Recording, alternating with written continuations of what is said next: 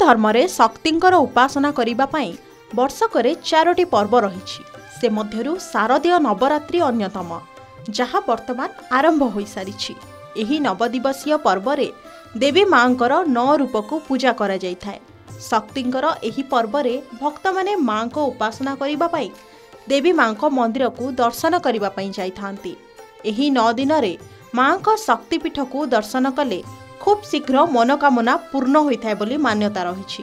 ଆଜି ନବରାତ୍ରିର ଏହି ପାର୍ବଣୀ ଅବସରରେ ଆପଣଙ୍କୁ ଉତ୍ତରାଞ୍ଚଳର ଅବସ୍ଥିତ ଦେବୀ ମାଙ୍କ ଏମିତି ଏକ ଶକ୍ତିପୀଠ ବିଷୟରେ ଜଣାଇବୁ ଯାହାକୁ ମହାକାଳୀଙ୍କ ପୀଠ କୁହାଯାଏ।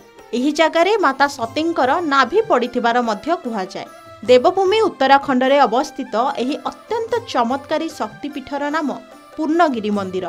ଏହି ମନ୍ଦିର ବିଷୟରେ କୁହାଯାଏ ଯେ କିଛି ବର୍ଷ ପୂର୍ବେ ଏଠାରେ ସନ୍ଧ୍ୟା ସମୟରେ ଲୋକଙ୍କୁ ରହିବା ପାଇଁ ବାରଣ କରାଯାଉଥିଲା। ସେହିପରି ସନ୍ଧ୍ୟା ସମୟରେ ଏହି ସ୍ଥାନରୁ ଏକ ସୁମଧୁର ସଙ୍ଗୀତ ଆସିଥାଏ ଯାହା କେବଳ ସେଠାରେ ସନ୍ଧ୍ୟାରେ ଉପସ୍ଥିତ ଥିବା କିଛି ସିଦ୍ଧି ଲୋକ ହିଁ ଶୁଣିପାରୁଥିଲେ କିନ୍ତୁ ଏହି ସଙ୍ଗୀତ କେଉଁଠାରୁ ଆସୁଛି ତାହା ଆଜି ପର୍ଯ୍ୟନ୍ତ ଗୋପନୀୟ ହୋଇ ରହିଛି। ପୂର୍ବପୁରୁଷଙ୍କ କହିବା ଅନୁସାରେ ସନ୍ଧ୍ୟା ସମୟରେ ଏଠାରେ ଦେବୀ ମାଙ୍କ ବାହନ ବାଘ ଯିବା ଆସିବା କରିଥାଏ। ତେଣୁ ସନ୍ଧ୍ୟା ସମୟରେ ଲୋକଙ୍କୁ ଏଠାକୁ ଯିବାକୁ ମନା କରାଯାଇଥାଏ। ମାନ୍ୟତା ରହିଛି ଯେ ରାତ୍ରି ସମୟରେ ଏଠାରେ କେବଳ ଦେବତାମାନେ ଆସିଥାନ୍ତି। ଏହି ପୂର୍ଣ୍ଣଗିରି ମନ୍ଦିର ଅନ୍ନପୂର୍ଣ୍ଣା ଶିଖରର ପାଞ୍ଚ ହଜାର ପାଞ୍ଚଶହ ଫୁଟ ଉଚ୍ଚତାରେ ରହିଛି। ପୁରାଣ ଅନୁସାରେ ଯେତେବେଳେ ପ୍ରଜାପତିଙ୍କ ଝିଅ ତଥା ମହାଦେବଙ୍କ ଅର୍ଦ୍ଧାଙ୍ଗିନୀ ମାତା ସତୀଙ୍କର ଜଳନ୍ତା ଶରୀରକୁ ନେଇ ଭଗବାନ ଶିବ ଆକାଶରେ ବିଚରଣ କରିଥିଲେ ସେତେବେଳେ ଭଗବାନ ବିଷ୍ଣୁ ମାତା ସତୀଙ୍କ ଶରୀରର ଅଙ୍ଗକୁ ପୃଥକ ପୃଥକ କରିଦେଇଥିଲେ ଏବଂ ମାତାଙ୍କର ନାଭି ଭାଗ ଏହି ସ୍ଥାନରେ ପଡ଼ିଥିଲା ବୋଲି କୁହାଯାଏ। ନବରାତ୍ରି ବ୍ୟତୀତ ସବୁ ସମୟରେ ଏଠାରେ ଲକ୍ଷ ଲକ୍ଷ ଲୋକଙ୍କ ଭିଡ଼ ଲାଗି ରହିଥାଏ। ଭକ୍ତମାନେ ନିଜ ମନସ୍କାମନା ପୂରଣ କରିବା ପାଇଁ ଏଠାରେ ଲମ୍ବା ସମୟ ପର୍ଯ୍ୟନ୍ତ ଲାଇନ୍ରେ ଲାଗି ଅପେକ୍ଷା କରିଥାନ୍ତି। ସେହିପରି ତଳେ ଥିବା କାଳୀ ନଦୀ ପାଣିର କଳକଳ ଶବ୍ଦ ଛାତିରେ କମ୍ପନ ସୃଷ୍ଟି କରିଥାଏ।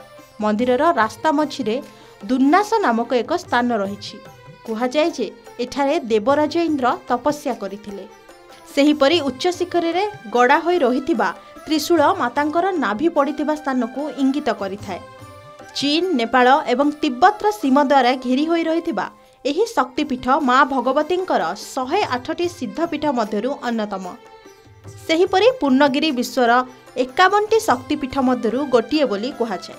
ଏଠାରେ ମାଗିଥିବା ସମସ୍ତ ମନସ୍କାମନା ପୂର୍ଣ୍ଣ କରିଥାନ୍ତି ମା। ଏବଂ ଏହି ସ୍ଥାନ ଛୋଟ ପିଲାଙ୍କୁ ଲଣ୍ଡା କରିବା ପାଇଁ ଶ୍ରେଷ୍ଠ ବୋଲି ମଧ୍ୟ କୁହାଯାଏ। Bureau report K news Odisha.